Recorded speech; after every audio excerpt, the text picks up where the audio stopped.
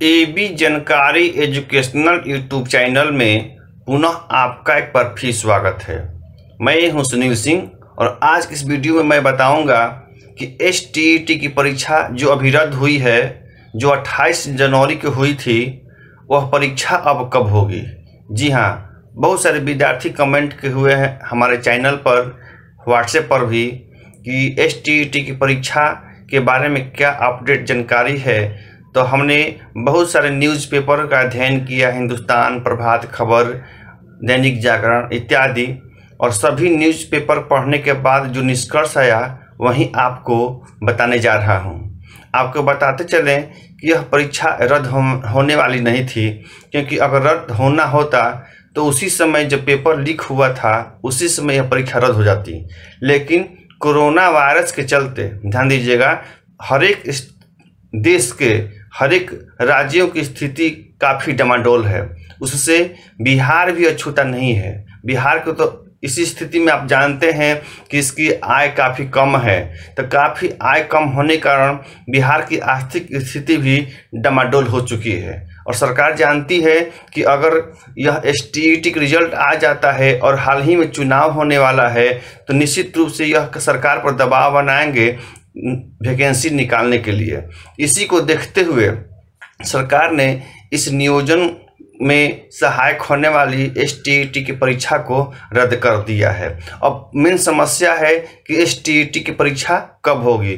तो जिस दिन रद्द हुआ था, उस दिन एक दो पेपर के किसी संस्करण में निकाला गया था कि जून या जुलाई में ही हो सकती है एस की परीक्षा। लेकिन आज बिहार बोर्ड के अध्यक्ष, बिहार स्कूल एग्जामिनेशन बोर्ड के अध्यक्ष अनंत किशोर ने स्पष्ट रूप से कह दिया है कि जब तक कोरोना वायरस का प्रकोप समाप्त नहीं हो जाता तब तक जो है एस टी टी की परीक्षा का होना संभव नहीं है। लाखों से ज़्यादा इसमें परीक्षार्थी हैं और सभी परीक्षार्थियों को व्यवस्था करना सोशल डिस्टेंसिंग के अनुसार, यानी कि एक बेंच बेंचों की संख्या ज़्यादा होगी रूमों की संख्या ज़्यादा होगी आने जाने में असुविधा होगी। कोई व्यक्ति अभी दिल्ली है, कोई बॉम्बे है, या किसी का सेंटर मांग के चलिए बक्सर घर है और समस्तीपुर में सेंटर पड़ गया, अनेक प्रकार की समस्या हैं तो यातायात भी आजकल बंद है। तो इस स्थिति को देखते हुए आनंद किशोर ने स्पष्ट रूप से कह दिया कि जब तक कोरोना वायरस का प्रकोप समाप्त नहीं हो जाता, तब तक जो है एस की परीक्षा जो है होना बिल्कुल ही असंभव है। तो इस प्रकार जो है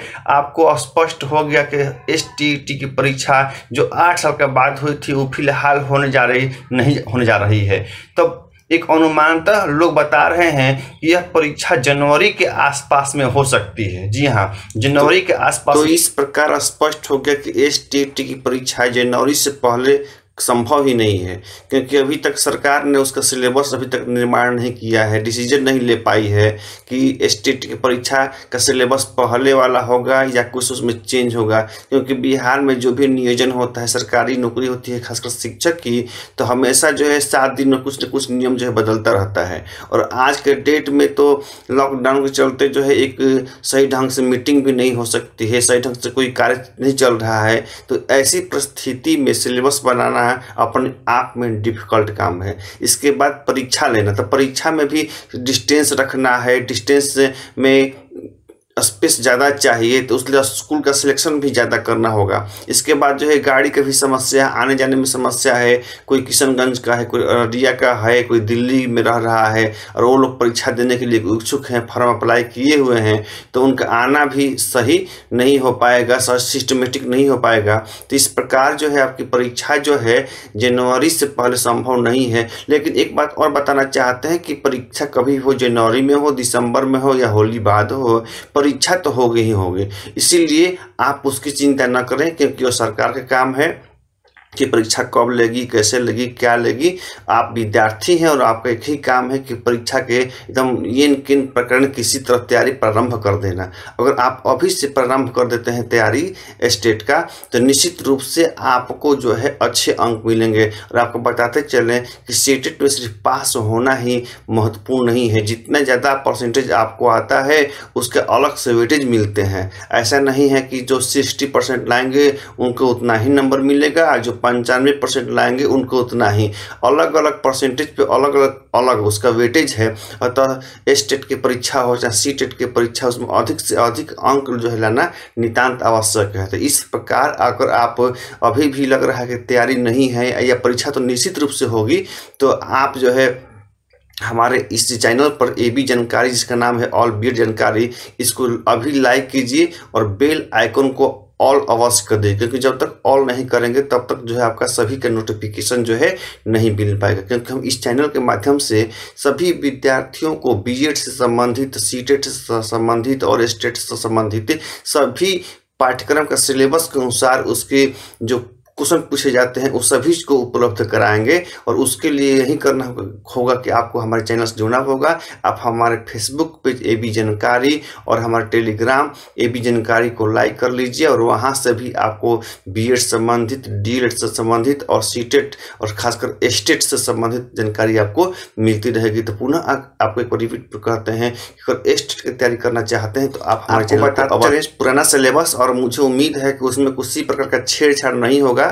पुराना सिलेबस से ही परीक्षे होंगे जो होने वाला है क्योंकि वहीं अन्य स्टेट में भी लगभग लागू है और उसमें यही होता है स्टेट में हाई स्कूल शिक्षक में या टेन प्लस टू में कि डेढ़ सौ नंबर के प्रश्न रहते हैं, डेढ़ सौ प्रश्न रहते हैं। ध्यान दीजिएगा, डेढ़ सौ अंक का डेढ़ सौ प्रश्न रहते हैं, जिसमें सिक्सटी परसेंट पास होना आपको आवश्यक है और डेढ़ सौ प्रश्नों में 50 अंक के 50 प्रश्न जो है आपका टीचर एप्टीट्यूड टेस्ट से होता है। ध्यान दीजिए, डेढ़ सौ जो प्रश्न होंगे, उसमें से पचास अंक के पचास प्रश्न जो होंगे, वो टीचर अप्टीट्यूड टेस्ट से होता है, जिसमें उसमें हिंदी भी पूछ सकता है रीजनिंग भी पूछ सकता है टीचर अप्टीट्यूड टेस्ट भी पूछ सकता है, इसके बाद समसामयिक भी पूछ सकता है मतलब उसे कोई सिस्टमेटिक नहीं है कि किस से कितना पूछेगा, वो फिक्स है कि वो पचास अंक जो है general GK GS science arts किसी से भी पूछ सकता है, मैथ पूछ सकता है, पर्यावरण पूछ सकता है, समसामयिक पूछ सकता है, कुछ भी पूछ सकता है। और जो बच्चा डेढ़ सौ में पचास तो ये हो गया टीचर ऑफ़ टीच्यूट और बच्चा शेष। तो सोशल साइंस के लिए बता रहे हैं कि सोशल साइंस में आपको 100 अंक पूछे जाएँगे आपके सब्जेक्ट से, वो भी बी ए थी। जो आपका सब्जेक्ट है मैट्रिक में, उसी के हिसाब से आपसे पूछे जाएँगे और वो सब्जेक्ट का सिलेक्शन होता है स्नातक से। मतलब कि स्नातक में जैसे हम आज हम सोशल साइंस को बता रहे हैं। सोशल साइंस में चार सब्जेक्ट है तो उस चार सब्जेक्ट में से दो ही सब्जेक्ट को जो है तैयार किया जाता है। तो इस पर, इस साल भी अगर आपका विषय सोशल साइंस है तो चार सब्जेक्ट है हिस्ट्री इकोनॉमिक्स जोग्राफी और पॉलिटिकल साइंस उसमें से किसी दो ही विषय को पढ़ना होगा और इस प्रकार आप अभी से तैयारी करते हैं तो निश्चित रूप से आप स्टेट जो है एक अच्छे नंबर से पास करेंगे। और आज के डेट में इतने विद्यार्थी पास हो चुके हैं कि जब तक आपका मेधा अंक ज़्यादा अच्छा नहीं बनता है, आपका स्टेट में परीक्षा में अच्छे अंक नहीं आते हैं, तब तक आपको जो है स्टेट पास करने से और जो है बीट करने से कोई फ़ायदा जो है नहीं है। तो इस प्रकार जो है आप स्टेट की तैयारी करना चाहते हैं तो आज ही से हमारे चैनल से जुड़ जाइए और निश्चित रूप से अगर इस चैनल से शुरू से अंत तक सभी वीडियो देखते हैं तो आपके अंक जो है नब्बे परसेंट से ज़्यादा आएँगे। इसी के साथ इसे हम वीडियो का समापन कर रहे हैं और अगले वीडियो में आपको बताएँगे कि जो है इसका सिलेबस क्या है? कौन सब्जेक्ट में कितना अंक से पूछे जाते हैं? क्या क्या पूछे जाते हैं? इस प्रकार स्टेट से संबंधित सभी जानकारी आपको इस चैनल के माध्यम से उपलब्ध कराई जाएगी।